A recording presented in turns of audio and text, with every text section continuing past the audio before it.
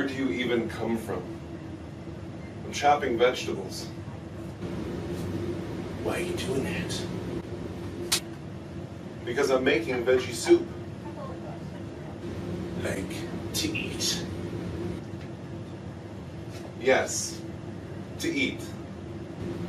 Why are you making that?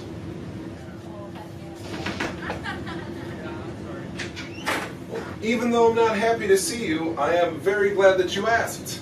Oh, there's two of you. Vegetables have a number of different benefits for the human body. They support our health in a wide variety of ways. But what I want to do is go over what we think are the top three ways that vegetables support optimal health. And to do so, I'm going to turn it over to dry erase board Drew. Take it away, Drew.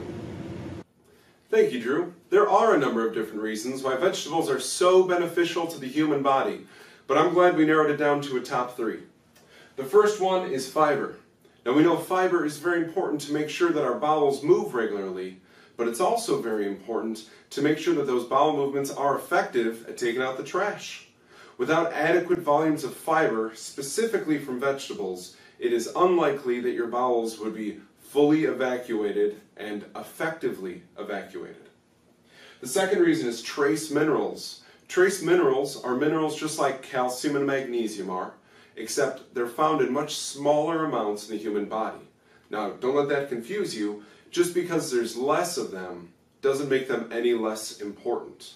They're critical for the functioning of the brain, the thyroid, and various other parts of the human body. And last but not least, the third reason vegetables are so good for you is something called cofactors. Cofactors is a term that we use to describe nutrients that are found in even smaller amounts in the human body than trace minerals. But again, do not let the quantity confuse you.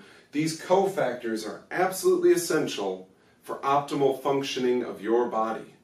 While their amount may be very, very small, they're still needed. Think of it this way. Think of your car. It's a very large thing, right?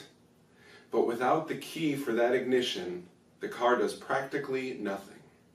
So think of the cofactors like the key to the car. Now, I'm going to turn it back to Kitchen Drew. He's really good at that. Thanks, Mustache. This may be the only time I ever agree with you. What vegetables are you gonna use?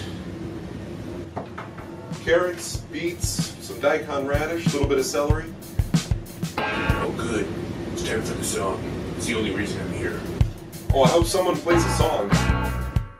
Oh, you bet there's a song.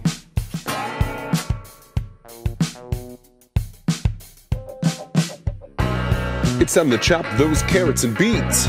When you do, eat the tops and leaves. And then it's time to get nutrients from daikon, radish, and celery. We're making veggie soup. We're gonna eat it up. You can eat it out of a bowl or a cup. But when you do, you nourish your cells. Then you get to feel quite well. You gotta eat it to help yourself. You gotta eat this veggie soup for some better health. I said, you gotta eat it to help yourself. You gotta eat this veggie soup for some better health. When you do, you nourish your cells, and then you get to feel really quite well. It's veggie soup. That's what I'm telling you. Oh, yeah. It's veggie soup time.